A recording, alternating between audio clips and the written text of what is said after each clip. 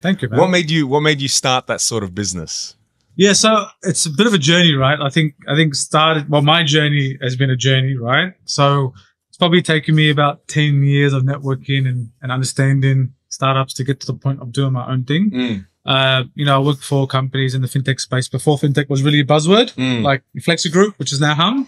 Um, that was probably one of the first innovators in Australia to do instant credit Right. decisioning. Uh, you would know from from your background, uh, know. Well, I didn't know they were. I didn't know they were the first in the space to do instant. Um, They're one of the first. okay. Yeah, yeah. yeah. So what? As in on the spot, whilst they're at Harvey Norman or whatever it may have been at the time, where you could do that interest-free period, they were the first ones that would give you a real-time decision. real time. Okay, Yeah, yeah. right. I, I think majority of the of the of the loans that we done was real time. So they, were- they were like the one of the original fintechs uh, in Australia, and I worked in their sales team and made a lot of connections there and, and understand how distribution and sales works. Mm. Uh, third party distribution is a very big part of most businesses.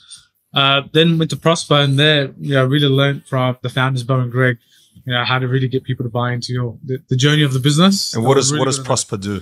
So Prospa does unsecured small business loans Okay, pretty much instantly right. uh, majority of the customers of approvals.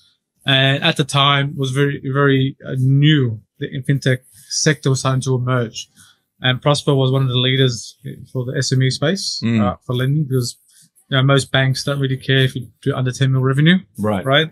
So there was a huge opportunity for Prospa at the time. And you know, the founders, Beau and Greg, were just amazing at um, you know, getting people to buy into the business, the Mm. culture, the journey. And that's what I really want to learn from that. And at Plenti is kind of a bit of both. Like, So Plenti was after Prospa. So you Plenti's after Prospa. how long were you at Prospa for? So about a year, Mm. very short stint. Um, I actually went back to Flexi Okay. and then went to Plenti after that. When when you went back to Flexi, was it still in sales? Yes, I actually led a team, um, Okay. which was the online independent retailers.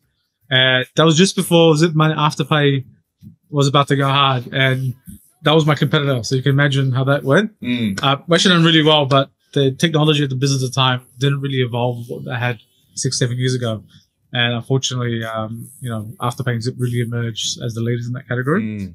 But um, went to went to Plenti after that, and Plenti was cool because I actually learned the other side, which is the investor relations and watching Dan, the founder, and working with him on you know strategy for the sales team and how that meant how that funneled down to raising capital, investors, and meeting the board members for for, for, for the first time, and really just watched him and how he, how he navigates for investors. He's amazing at it, mm. right?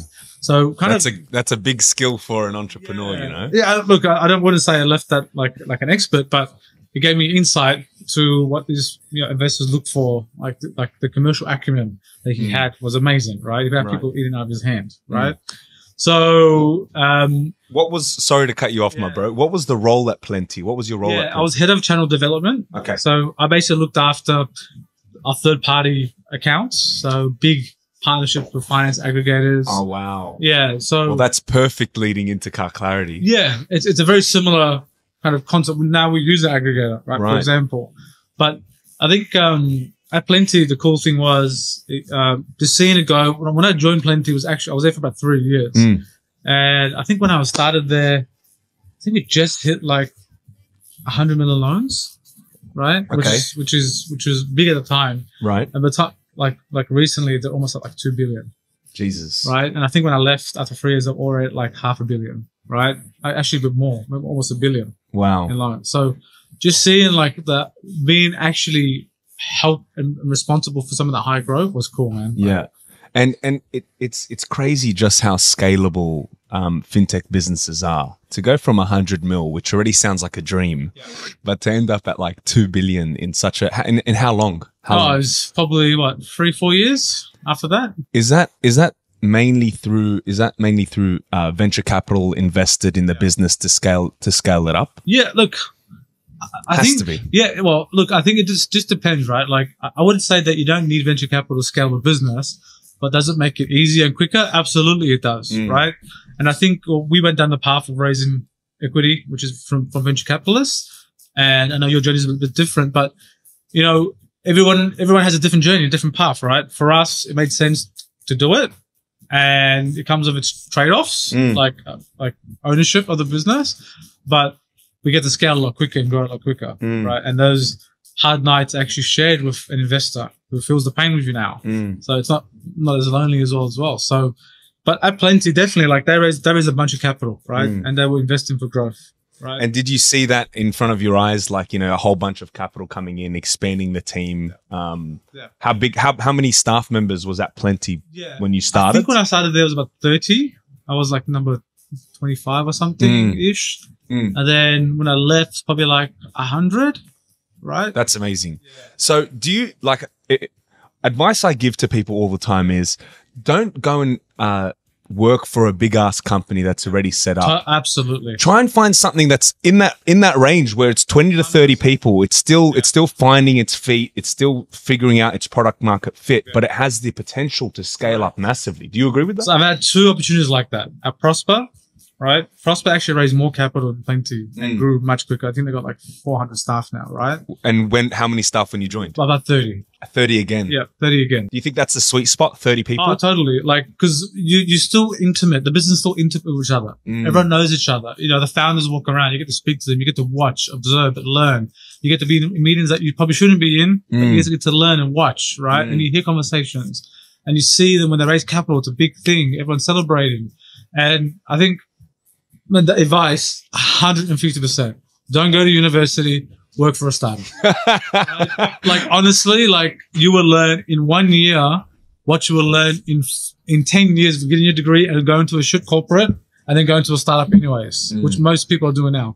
We look at like a lot of the startups, right? It's there's there's in our space, in the tech and fintech space, a lot of it is ex McKinsey consultants, Goldman Sachs consultants. They've gone got their degree, gone to work for a corporate and realized it's crap. And they've gone to do a startup about something they're passionate about, Mm. right? There's a reason why they're doing that, right? And I think what I have no degree. I, I got kicked out of school year, year 11. Really? Right? I was a shitty kid. I was a bad Why'd kid. you get kicked out? not going to school. Okay. Yeah. Right. Just not going to school and hang out with the wrong crowd. Right? Mm. On my year 11 exam, I Mm. got told my dad's waiting for me in the room and I shit my pants and I got kicked out of school. so, so, but you know what? Like the one thing about you, you have to be, you have to be willing to work your ass off and willing to observe and network and willing to take a risk, Mm. right? You don't need a degree. Mm. If you have those qualities, you can be successful, right? I see a lot of podcasts and I see a lot of articles online about oh, working smarter, not harder. The number one thing I've learned personally is working hard is the ultimate piece to be Mm. successful. Mm. You can't expect to be successful without working hard and putting time away, That's right? right. And sacrificing a lot, right?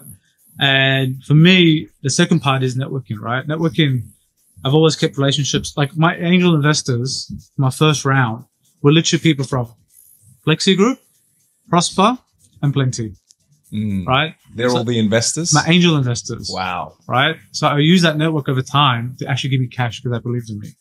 So everyone has their own journey, man. But I think, I think, uh, looking for a startup is the biggest learning curve you ever experienced in your life. Mm. Hey guys, if you enjoyed that short clip from the podcast, feel free to watch more of them by clicking here. And if you want the full podcast, click here.